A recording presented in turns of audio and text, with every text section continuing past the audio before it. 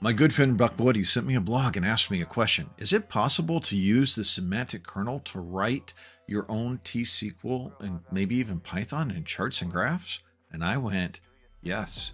Yes, it is. So coming up next on Tales from the Field, the semantic kernel, part two, writing your own code. Today's gonna be a good day. Wake up. Today's gonna be a good day. Wake up. Today's gonna be a good day. Wake up. Today's gonna be a good day. Wake up. This is your first time finding your way over to Tales from the Field. Give us a like and give us a subscribe. We drop content every Monday, Tuesday, and Wednesday. On Monday, we have our MS Tech Bits. On Tuesday, we have our Azure Data Community Roundtable, where we feature content by the creators in the Azure Data community for the Azure Data community. And then on Wednesday, we have our MS Tech Bits. That's one of those videos where we've been inspired by a blog, working with a product group, working with you or a customer, and uh, this is what it's about. So let's not waste any more time get over to that great content.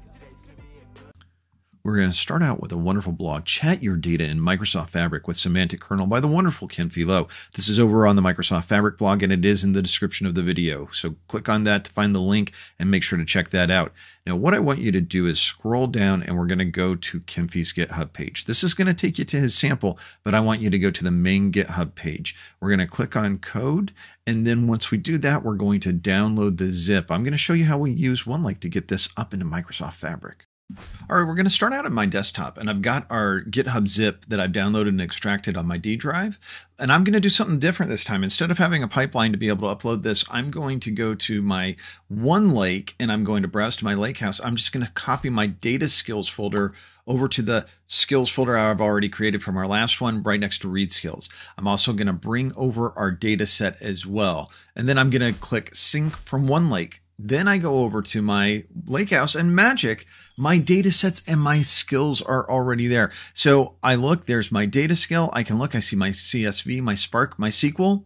And under my data sets, uh, I can take a look and there's my sales and my product DMV. As a matter of fact, three clicks, I can take my sales CSV and load it in as a table magic. Again, just absolutely amazing how quick I can do some of these things.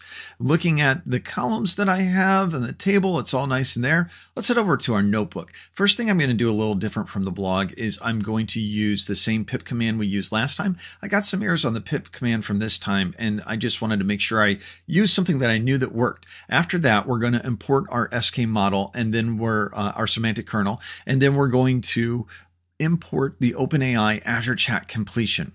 Now, we've got two models here you may notice, Model 1 and Model 2. We're going to get to that. Don't worry. Uh, model 1 is what we're using right now. It's our Chat GPT 3.5 Turbo. Uh, and we're going to run that, and then we're going to do our kernel add chat. We're going to invoke our endpoint on our uh, model deployment and our API key. We're going to point to our base level skills where we've got our data skills already. Um, and we're going to read those and you'll notice I've got the SQL skills commented out. We will get back to that. Next, I'm going to load the product list into a data frame. Super easy to do. I just point to my Lakehouse default files to the CSV. And then can we visualize code? Let's generate a bar chart, list product type, display the number of products owned by the corresponding product type. But nothing came out. Let's try and figure out why. Let's print the Panda SQL statement. Nothing. Uh, let's try and see if we comment out the exec and then print panda. Still nothing. Okay, let's take a look at the panda result frame because clearly we aren't getting the result I would expect that we would get. Let's see. What do we have? An error. Uh, model's max context for tokens has been exceeded. Okay, now in the blog, Kinfey, uh, Kinfey uses a ChatGPT 4.0 model. I don't have access to ChatGPT 4.0. However, I do have 3.5 Turbo 16K. That provides more tokens for us. So if I redo this, redo my base skills, then I come in and do my import again of my data just to validate. Then I run. What do we get? Magic. The tokens equal the number of characters. My question was too big, but the ChatGPT uh, 3.5 16 Turbo allowed me to be able to just ask a question and we were able to invoke a graph, a graphical response of our data. That's really cool. Okay, so now that we've got this in place, I can also just ask it a question and say, return this as a table, and it returns my different car audio product types as well. So let's switch over to Spark, and we're going to load up our sales data. And then we're going to see, can we query a data frame? So we validated our data is there. We're going to ask questions. search order dates, uh, July 1st, 2019, and count sales order line item and we have nine sales for that particular date. Now, the next thing we could do is we could say, hey, generate a T-SQL statement for me that specifically gives me the count on the item quantity sales. Now we get an error right here. And the error is actually pretty simple. In the blog, this was not included. It was not included to add the SQL skills, but the, it's in the GitHub repository. It's all there. It invokes it in the code. We just need to come back up here and I'm going to point our base skills um, and once I refresh the base skills in the notebook, we should be able to come down here and we can run this.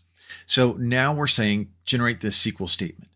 There's a couple issues with this SQL statement right off the bat. So you can see it asks for my data source, um, and that should be my lakehouse name. I, I, didn't put that in there, but the other problem is the sales. It's pulling that from the question, and my sales table is lowercase. This sales table is uppercase this is not going to work out the way that I want it to. But it didn't even alias it. It could have aliased it my data source dot or baseball underscore lake house dot, but it didn't. Um, so what this made me do is it made me go, okay, maybe we need to look at the prompt a little bit more closely. Um, so that way we can actually figure out what's going on on here. Same thing we had to do last time. So let's head over.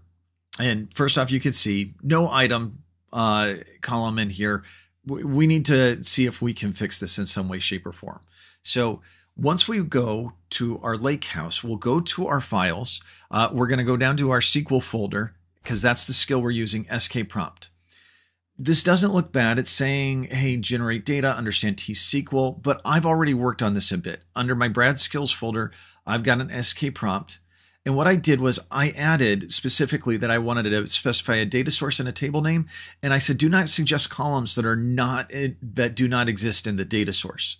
So I made this change, and instead of changing this uh, and then re-uploading the folder, I can just go into OneLake. I can open up my Brad Skills Reskills, do a copy, and then I'm going to hop straight over to my Lakehouse where I've got my current skill, save it, do a sync, um, and then all I have to do is run this because it's already going to point to that folder. It'll pull in a new context.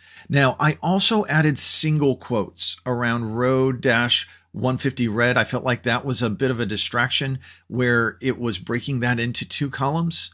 And once I did that, you can see I properly got the sales table and we've got our data. So, what did we cover? Well, we covered a lot. We talked about how you can use the semantic kernel to be able to create charts and graphs and your own SQL statements to be able to run against your lakehouse.